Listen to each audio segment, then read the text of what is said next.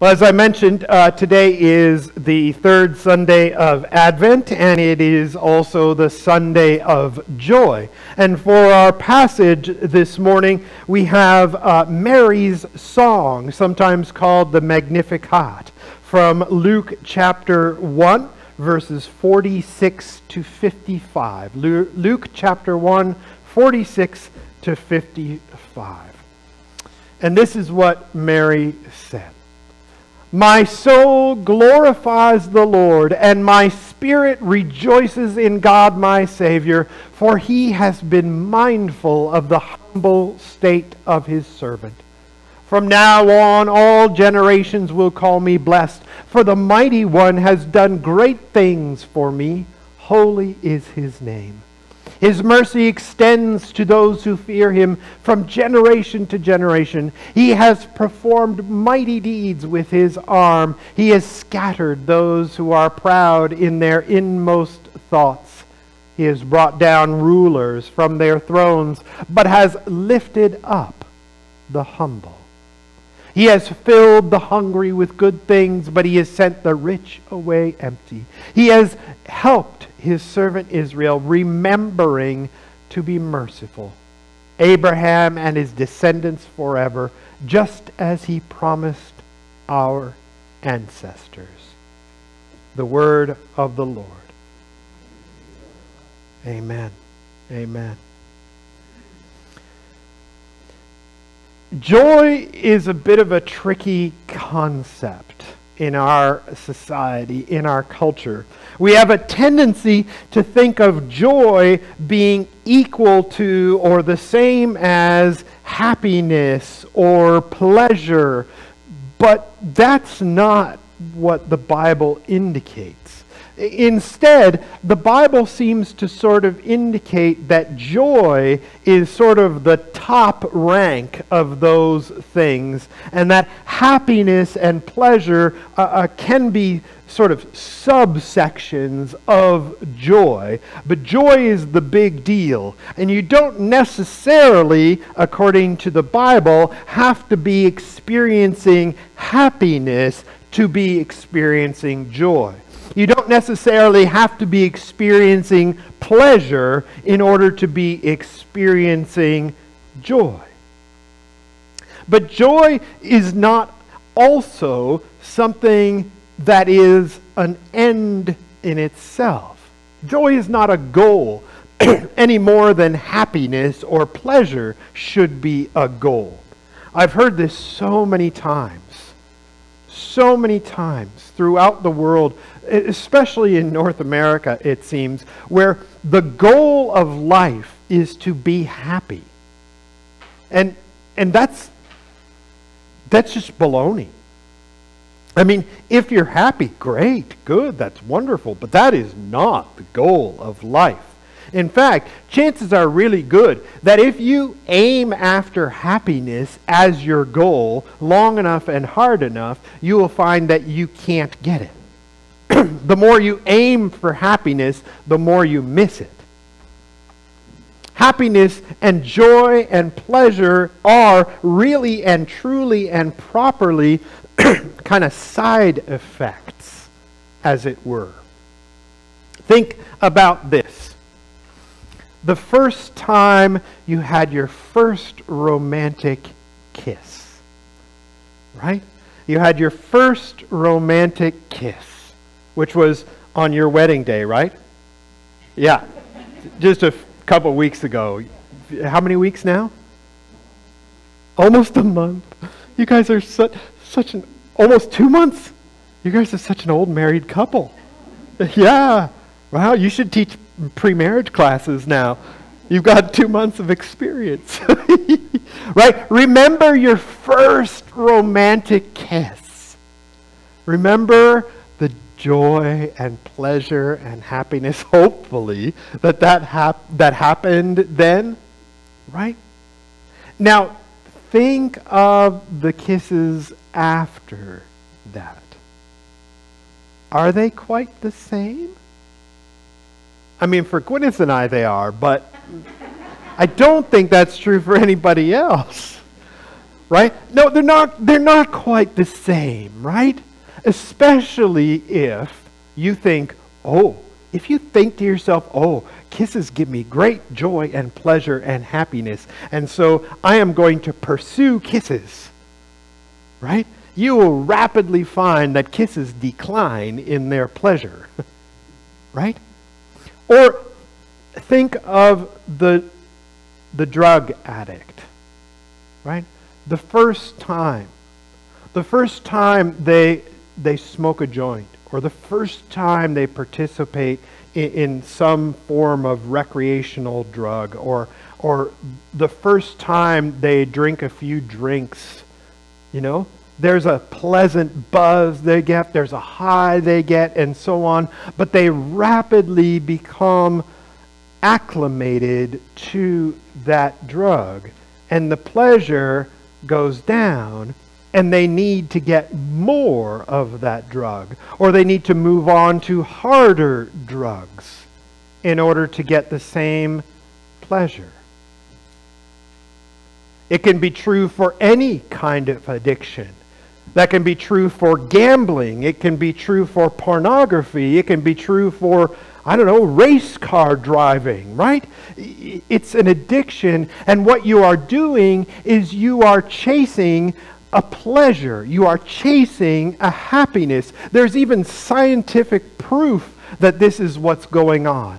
That your brain releases endorphins into your body that make you feel good and that you want to have that again, but every time you go for it again, the hit is a little bit less than it was before, and so you either have to pursue something more extreme or you have to put up with less pleasure.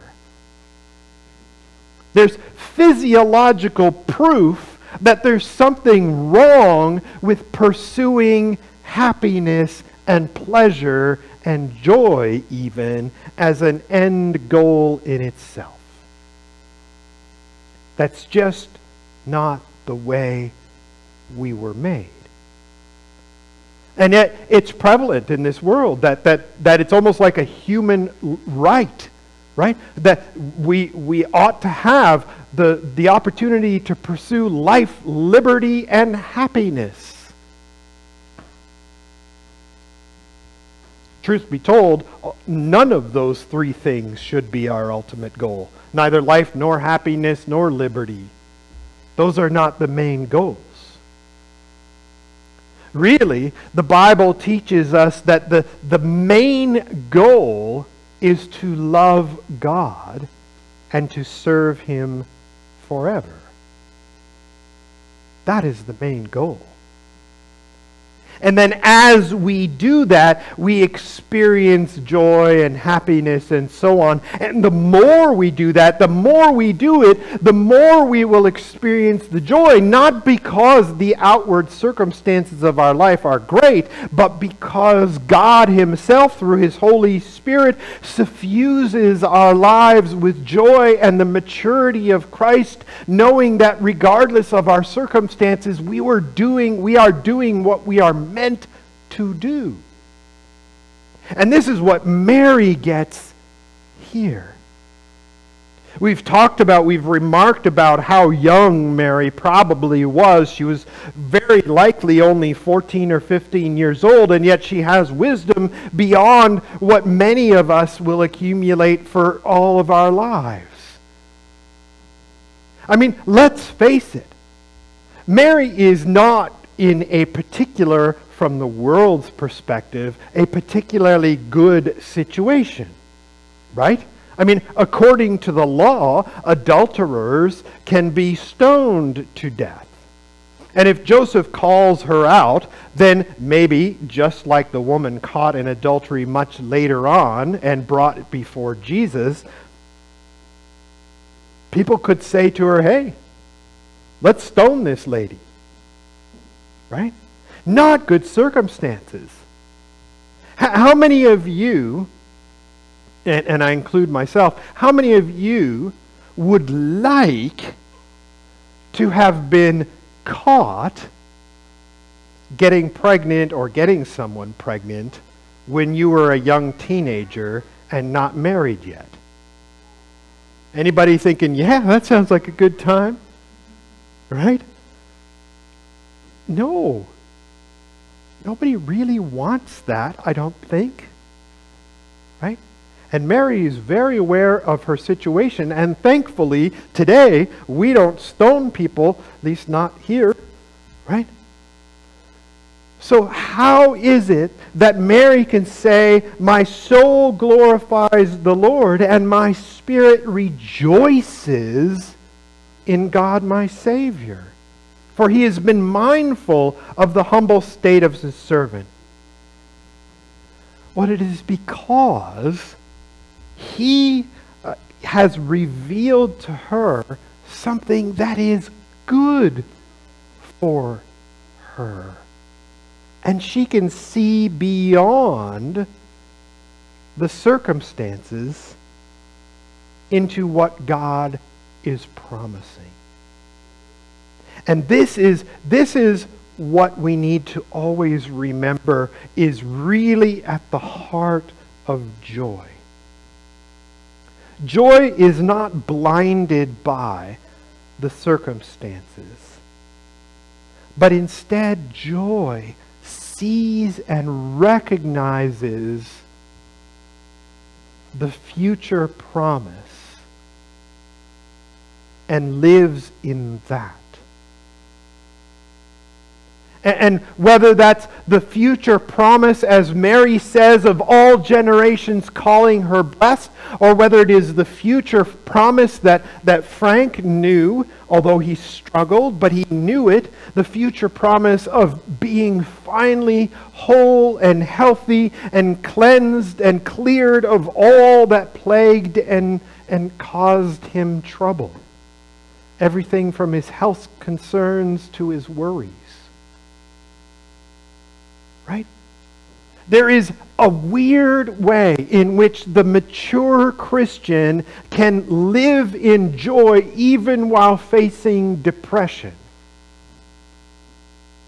And, and I speak of this out of some experience, not that I would say to, you know, that I'm like the most mature Christian ever, but I've had to live through the depression and know that somewhere deep inside, even in spite of the blackness of the world that surrounds me sometimes, even in spite of that, there is a joy and knowing and longing for the reality that God has promised that it will be made right and good and awesome. Holding on to that bright spark of truth in the midst of the darkness. That is joy too.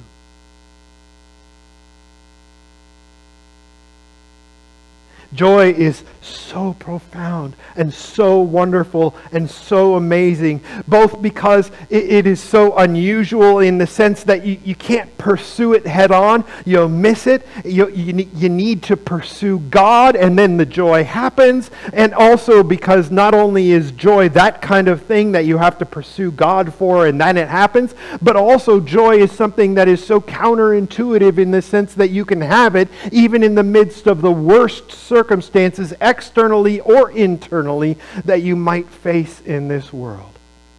Joy is not something that is driven away by whatever is happening in your life. But even more than that, joy is, is significant not only because it, you don't shoot right for it and because it is true regardless of your circumstances, but it is also significant because it points to something else.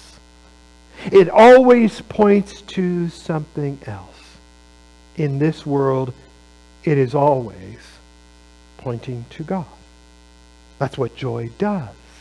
There is a longing within each one of our souls that should be there. That should be there. We should want to be with God. And when we don't, there is a hole in our hearts, in our lives. Who was it? Blaise Pascal who said there's a God shaped hole in everybody's heart? Right? I'm paraphrasing. Sorry, Blaise. Right? We long for something more than this world. And even the atheist, even the person who has never heard the gospel, even the person who, who never had the opportunity, there is still that longing.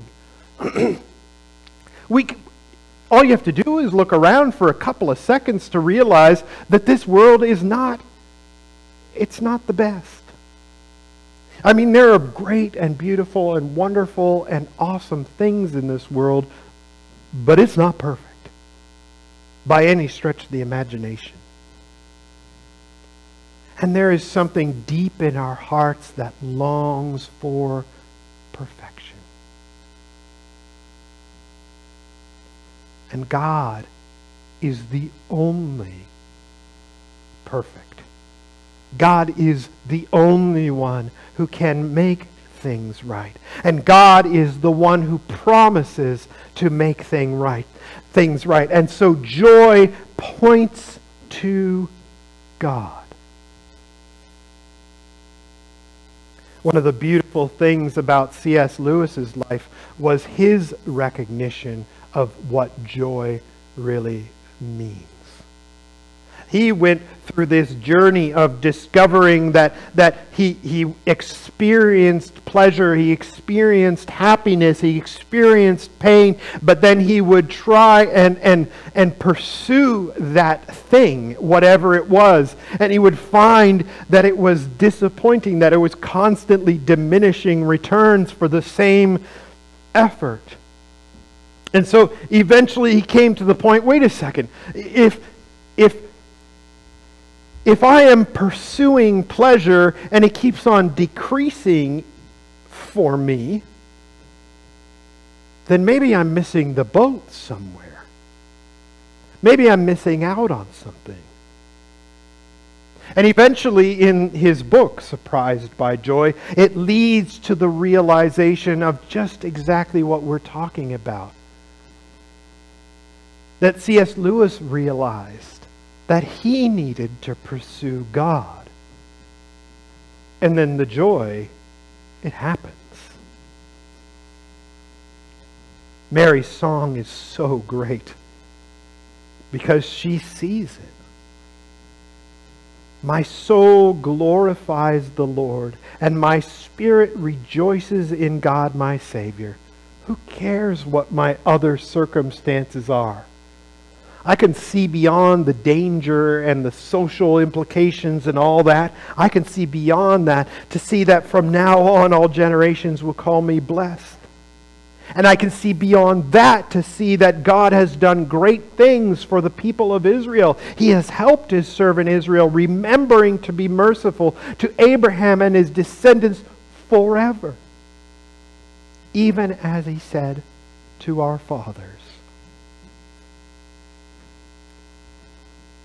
Brothers and sisters, this Christmas, this Sunday of joy, let us not cultivate joy by pursuing happiness and pleasure and joy, but instead let us cultivate joy by pursuing God. Let us pursue God just as He has pursued us with his son Jesus. Let us pray. Father in heaven, thank you so very, very much for the joy you bring us, O God. Not that it is a goal in and of itself, but that it is a gift from you, even alongside all of your other many gifts and most of all, O oh God, it is a gift alongside your Son, Jesus Christ, the greatest gift of all. Father, help us to pursue not our own pleasure, to pursue not our own happiness, to pursue not joy, but instead to pursue you, O oh God. Father, May your Holy Spirit work in us, especially in this season, to bring us joy regardless of our circumstances, regardless of pain or suffering, regardless of fear, regardless of depression or anxiety, regardless of grief, regardless of sorrow, even regardless of supposedly good things like material possessions and, and pleasures. Lord, guide us into your joy, just as you did for Mary. In Jesus' name we pray. Amen.